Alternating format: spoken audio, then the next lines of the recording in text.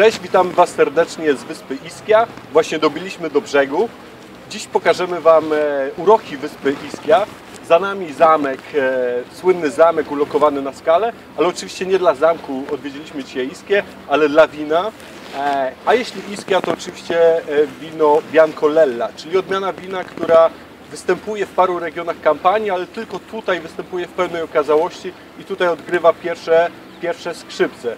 Ischia słynie od, z wina nie od dziś, bo od czasów homeryckich. Już wtedy o tamtym winie mówiono, że, że jest to wino, które jest jednocześnie lekkie, a jednocześnie bardzo bogate w smaku. Chcieliśmy to dzisiaj wypróbować.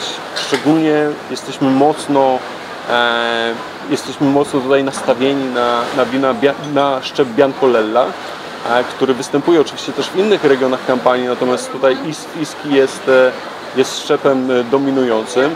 E, W i tylko w wytwarza się wina, które są stworzone tylko i wyłącznie z, tego, e, z tej odmiany winorośli. Będziemy dzisiaj je za chwilę, za chwilę próbować, ale najpierw parę słów, skąd wino to zawdzięcza tak dobrą jakość. Otóż niewątpliwe jest, że ukształtowanie terenu Iski i jakby separacja Iski, od, odizolowanie Iski od, od innych części geograficznych kampanii sprawiło, że wytworzył się tu bardzo specyficzny, bardzo dobry klimat dla, dla uprawy winorośli, bo po pierwsze mamy tu do czynienia ze wspaniałymi bryzami, e, zimnymi bryzami, które ochładzają trochę to gorące powietrze. E, po drugie mamy do czynienia z bardzo dobrym podłożem, ponieważ e, tutejsza gleba zawdzięcza swoją e, dobroczynną jakość dla winorośli mm, wspaniałym, e, wspaniałemu wpływowi oceanu na, na, na skały wulkaniczne. Połączenie skały wulkanicznej z oceanem i z wpływem oceanu e, dało tutaj e, bardzo ciekawą skałę, która przybiera kolor morski, kolor mors- morskiej zieleni. E, A oprócz zalet wizualnych daje to bardzo, bardzo ciekawe podłoże dla win właśnie. Tutejsze wina, szczególnie białe, szczególnie wino Biancolella jest mocno zmineralizowane, wręcz można powiedzieć słone.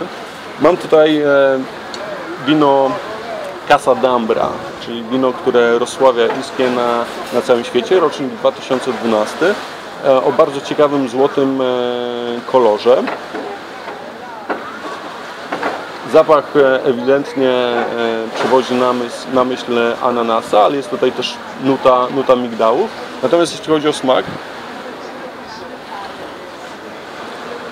smak, tak jak powiedziałem, jest, jest e, niezwykle bogaty, bardzo, bardzo złożony. Jest to wino bardzo aromatyczne, a jednocześnie lekkość.